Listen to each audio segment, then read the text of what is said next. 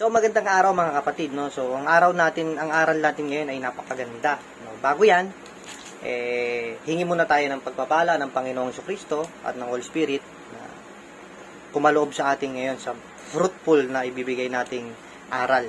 Ito kasi ang pinakapopular na mga paninira na ng ibang sekta na mga bagong tayo lamang, sinisiraan nila ang Catholic faith na ang tao daw tayo daw ay sumasamba sa rebulto at ayaw daw ng Diyos yun. At lagi nilang binabasa na bersikulo ay ang Exodo chapter 20 verse 3 to 4. Babasahin natin at papaliwanag natin kung bakit at kung ano ang nilalaman ng context, context ano, konteksto na ito. No, hindi porkit nakabasa tayo ng konting verse, konting ano eh maniniwala na tayo agad at yun na agad ang ating ano uh, gagamitin. Lalo na, eh, pinapanira pa sa iba. Eh, kung tayo talagang tunay nag-aaral, malalaman natin ang nilalaman ng konteksto na ito. Kaya nga mga kapatid, inuulit ko, iba ang nag-aral, iba yung nagbabasa lang. Okay? So, basahin natin. Huwag kang sasamba sa ibang Diyos maliban sa akin. Huwag kang gagawa ng imahe ng anumang nilalang na nasa langit, nasa lupa, o nasa tubig upang sambahin. Huwag mo silang yuyukuran na sasambahin sapagkat akong si Yahweh na iyong Diyos ay mapanibughuing Diyos. Papaliwanag natin, ang nilalaman ng konstekto na ito mga kapatid, ay ito yung mga ribulto o mga Diyos-Diyosan ng Ehipto. Bakit sinabi ng Diyos yon sa mga Israel Israelita? Kasi na-adapt nila yung mga Diyos-Diyosan nung Ehipto. Nung nandun sila, may mga imahe, na-adapt nila yon Nagalit sa kanila ang Diyos at pinagalitan sila. Pero, merong mababasa sa Biblia na nagpagawa ng imahen ang Diyos Ama sa kanila. Ano yon Yun yung Ark of the Covenant. Mababasa natin yan sa Exodo uh, chapter 25 to 26 no nag diyan uh, nagpagawa inutusan ng Diyos Ama si Moises na gumawa ng kanyang imahen. No? So ibig sabihin, doon kayo na lang po magbasa. Basahin po din ninyo. May mga sukat pa ngayon at ipapakita ko sa kanyo kung ano yung itsura ng Ark of the Covenant at saka yung mga nilalaman yon at mga malalalim na ibig sabihin. Na ibig sabihin pala, hindi pala masamang uh, mag-ano tayo, gumawa ng altar at mga imahen kasi inutos yun ng Diyos. Yung iba kasi, sa, hindi sila nag-aral, ang way lang nila is manira para sirain ang ating Catholic faith. So, sabi ko nga, iba kasi ang nag-aral, iba ang nagbasa lang. So, pero basa tayo ng konti bago tayo, bago ko ipakita yung itsura ng Ark of the Covenant, no? May itsura yon yung imahin na pinagawa ng Diyos. At yung nilalaman nun is representation ng Panginoong Kristo rin. So, pero mamaya natin papaliwanag yun. Basa muna tayong konti dito sa ang kaban ng tipan, no? Exodo. Exodo 25, 26 yan, chapter, no? Mahaba kasi ito eh, kaya chapter. So, yung 10 dito, yung verse 10, no, Uh, gumawa kayo ng isang kaban na yari sa akasya, 1.1 metro ang haba, 0.7 metro ang luwang, at 0.7 metro ang taas, no? Kinutusan ng Diyos Ama si Moises na gumawa ng kanyang imahen. Kaya hindi bawal ng Diyos na gumawa ng mga ribulto. Tatandaan ninyo mga kapatid, mag-aral po kayong mabuti. Uh, huwag niyong hayaang sirain ang pananampalataya ninyo ng ibang tao. Ang dapat ninyong gawin ay mag-aral kayo. So, ipapakita ko kung ano itsura ng Ark of the Covenant na Diyos, Diyos, Diyos Ama mismo nag-utos kay Yahweh. Nagawaan siya ng imahen.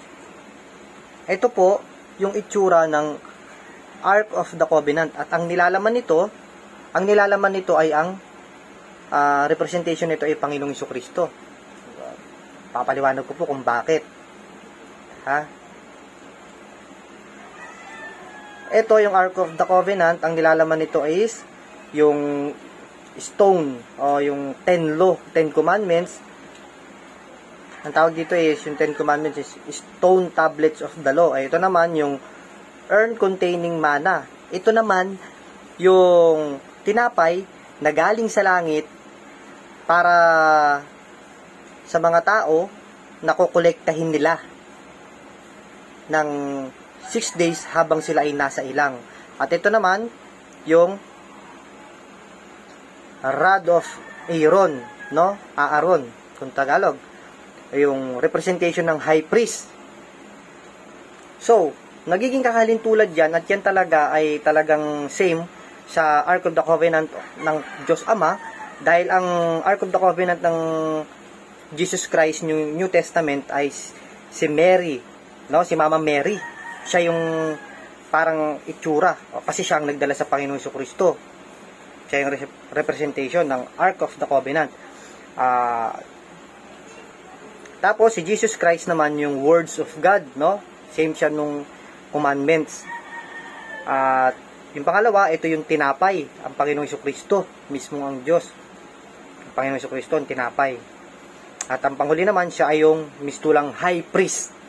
No, kasi ba, magkatulad na magkatulad sila kasi ang representation ng Ark of the Covenant ay ang Panginoong Kristo. Kaya nga, ang Diyos Ama at ang Panginoong Kristo ay iisa.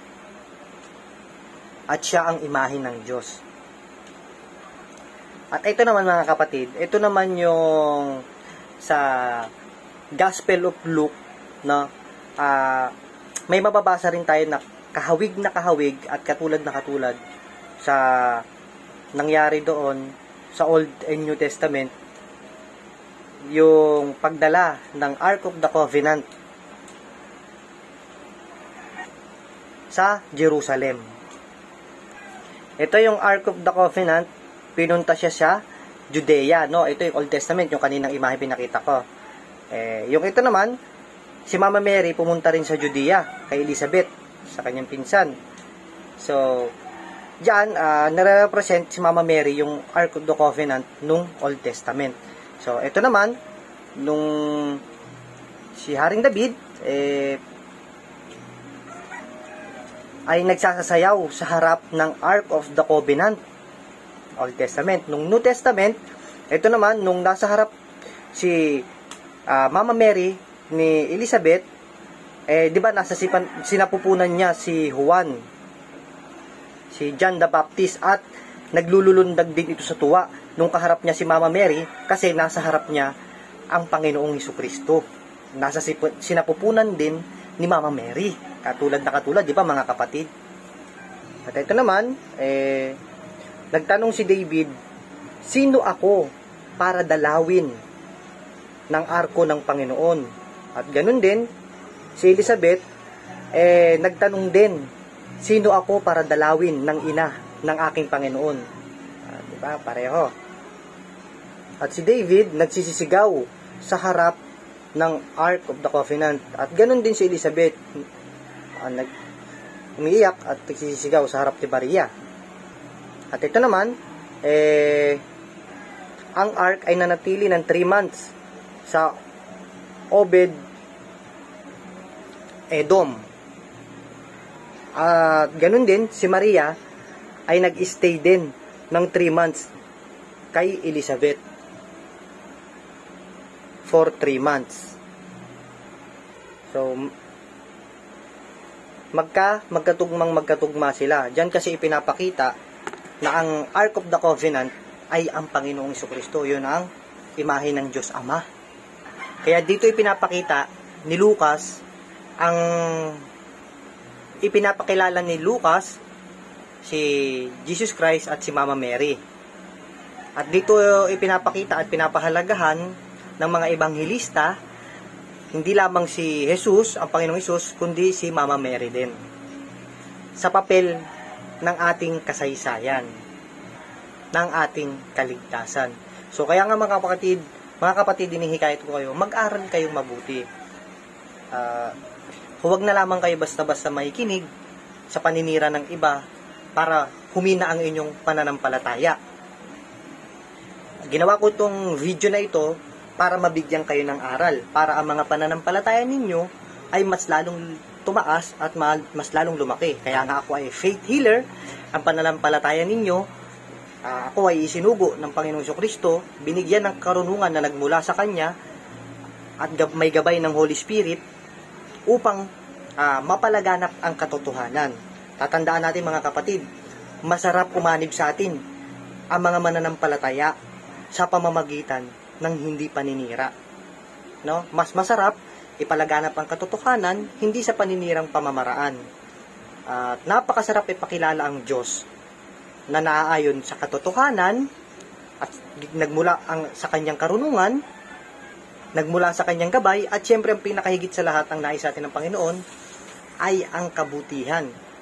Pag ang kabutihan, ang ating ginawang paraan para ang mga mananampalataya ay lumakas ang pananampalataya at ang mga hindi nananampalataya ay magbalik loob sa Panginoon, ang pinaka nais ng Panginoon ay sa pamamagitan ng kabutihan sa ating kapwa.